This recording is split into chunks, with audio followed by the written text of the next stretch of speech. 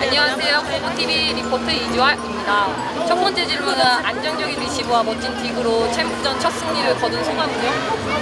어, 뭐 일단 기분이 좋고 좀 생각, 그러니까 도롱사가 많이 힘든 경기를 하고 올라와서 좀 쉽게 생각을 하지 않았나 싶어서 좀 거기에 대한 뭔가 반성이 되고 일단 이겨서 너무 기분 좋은 것 같아요. 두 번째 질문은 풀세트 접전의 플레이오프를 보면서 어떤 생각을 했는지 뭐 일단 상대 팀이니까 이렇게 동료기 때문에 힘들겠다는 걱정과 함께 뭐 은근히 그냥 급급 좋았던 것 같아요.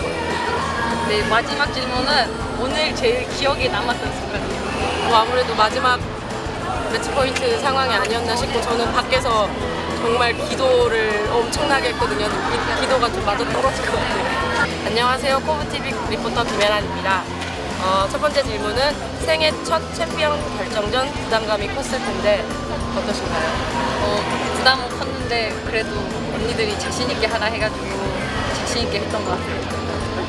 어, 두 번째 질문은 오늘 가장 잘한 것 한 가지와 2차전 더 잘해야 될 한 가지는 어, 블로킹 바운드 조금 시킨 것 같고 잘해야 되는 거 소통 좀더 잘해야 될 것 같아요. 헤란 언니를 어떻게 생각하십니까? 멋진 리베로 언니라고 나 없다고. 생각하고. 멋진 리베로 언니라 생각합니다, 진짜. 네.